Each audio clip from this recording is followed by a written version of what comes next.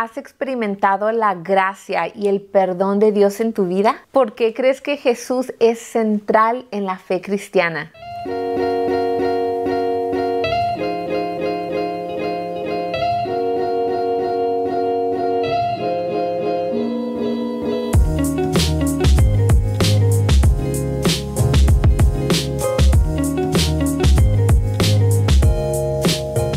En este video vamos a estar conversando acerca de la esperanza, la gracia y sobre todo el perdón que tú y yo recibimos a través de Cristo Jesús. Si te gustaría profundizar en este tema y conocer más acerca de la gracia y el perdón de Dios, te invito a que te suscribas a nuestro canal de YouTube. Además, presiona el botoncito de notificaciones para que de esa manera no te vayas a perder cada video de mujeres victoriosas estamos profundizando en temas como este y muchos más. Y es que cuando nosotras recibimos a Jesús, cuando aceptamos a Jesús, cuando reconocemos a Jesús en nuestra vida, nosotras podemos disfrutar de esa esperanza de una vida nueva en Él. Hay un versículo que me gusta muchísimo. Primera de Pedro capítulo 1 verso 3 dice, bendito el Dios y Padre de nuestro Señor Jesucristo,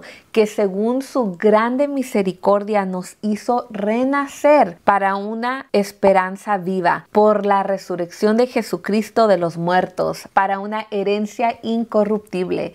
Y es que debemos de recordar que por medio del sacrificio de Jesús, cuando nosotros lo reconocemos, cuando lo aceptamos, cuando reconocemos el sacrificio que Él ha hecho por nosotras, eh, nosotras podemos recibir esa esperanza, tenemos la esperanza de una nueva vida en Jesús, una vida nueva, una vida transformada, una vida renovada. Todo absolutamente cambia. Tenemos esa esperanza de una vida nueva. No solamente aquí, terrenalmente, eh, cómo cambia nuestro ser, cómo Jesús nos va transformando y limpiando, sino que también tenemos esperanza de vida eterna con Él. Otra cosa que nosotras recibimos cuando aceptamos a Jesús es su gracia, su gracia inmerecida, su gracia que nos cubre, su gracia de, de, Dios en nuestra vida. Y es tan necesario que como hijas de Dios, nosotras recordemos que somos salvas por gracia. No se trata de buenas obras, no se trata de lo que tú y yo podamos hacer, no tiene nada que ver con los dones y talentos, no tiene absolutamente nada que ver con lo tu creatividad, con tus cualidades, con lo que tú contribuyas, con lo que hagas. Se trata de la gracia de Dios, por su gracia. Y este versículo me gusta mucho. Efesios capítulo 2, verso 8 en adelante dice, Dios los salvó por su gracia cuando creyeron. Ustedes no tienen ningún mérito en eso. Es un regalo de Dios. La salvación no es un premio por las cosas buenas que hayamos hecho.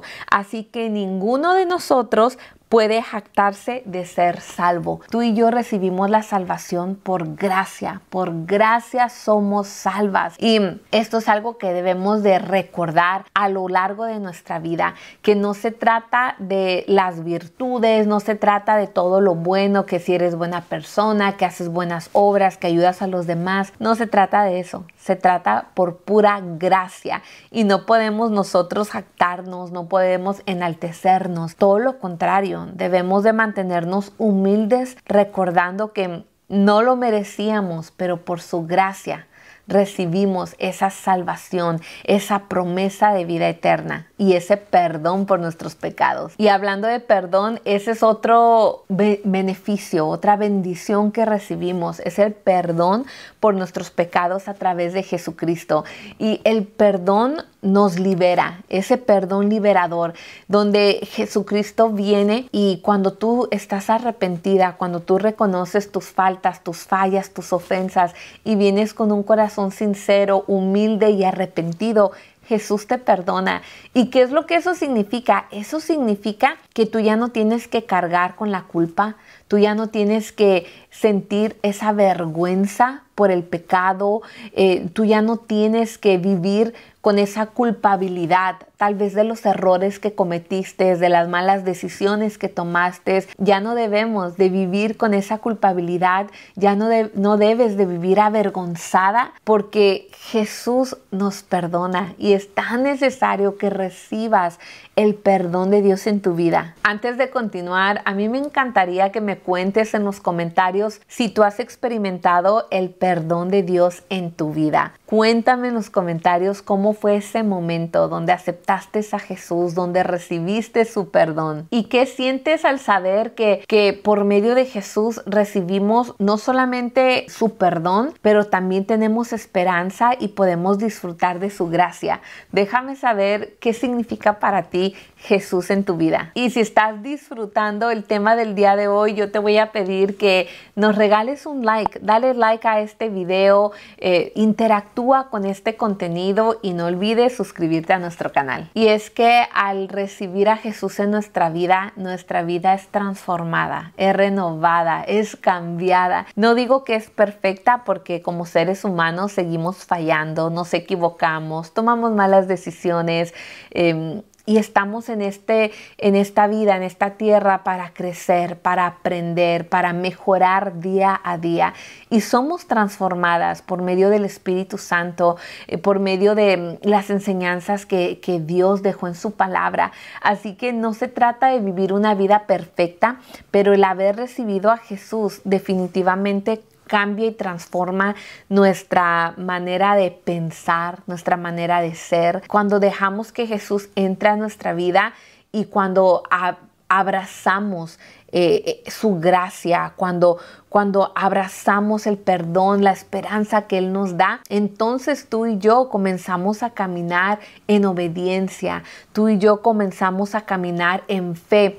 Y de esa misma fe y, de esas cosas hermosas que podemos disfrutar en Cristo, nosotras debemos de compartirlo con los demás. Ahora que somos transformadas y que somos renovadas, ahora es nuestra tarea compartir del amor de Dios con alguien más, compartir de su gracia con alguien más. Hay muchas personas que creen que, que Dios no los puede perdonar, sienten que hicieron cosas horribles en su pasado y no se perdonan, no olvidan, no sueltan esa culpabilidad pero tú y yo podemos dejarles saber que Jesús, que Dios Todopoderoso, sí los perdona. Si están arrepentidos de lo que hayan cometido, Dios está para perdonar. Así que es nuestro deber, nuestra tarea como hijas de Dios de demostrar y, platicarle al mundo que Dios perdona, que Dios restaura, que Dios salva, que sana, que levanta y también el poder recordarle a las personas sobre la gracia de Dios. Hay gente que cree que el estar, el ganar, el ganar la salvación o el, o el, el ser salvo o el ganar la aprobación de Dios solamente se puede obtener por medio de méritos, por medio de lo que hacen, por medio de ayudar a la gente. Eh, y eso está lejos de la verdad. Es la salvación es por gracia. Por gracia somos salvos, dice la palabra de Dios. Así que no se trata de quién hace más, no se trata de si ayudas eh, a, tantas personas, tu pasado va a ser borrado, no se trata de eso. Así que Ahora nuestra responsabilidad como hijas de Dios es poder compartir de esta misma gracia, de este mismo amor, de este perdón, de esta esperanza que recibimos a través de Jesús, compartirla con los demás, anunciarle y avisarle a la gente que Jesús vive, que Jesús está listo para abrazar, para perdonar y para levantar. Así que cuéntame, mujer victoriosa, si el tema de hoy fue de bendición para ti, déjame saberlo en los comentarios. Además, te invito a que te quedes conectada a nuestro contenido, que le des like a este video y lo compartas con alguien más. Nos ayuda muchísimo cuando tú interactúas con el contenido, cuando dejas un comentario. Eso nos ayuda muchísimo a seguir eh, compartiendo este mensaje o llegando a más personas. Y cuéntame cómo tú compartes acerca de la gracia y el perdón de Dios en tu vida cotidiana, con tus eh, seres queridos, con la gente que te rodea. Déjame saber en los comentarios qué haces tú o cómo le haces para poder compartir este mensaje tan poderoso. Que Dios te bendiga y nos vemos en otro video.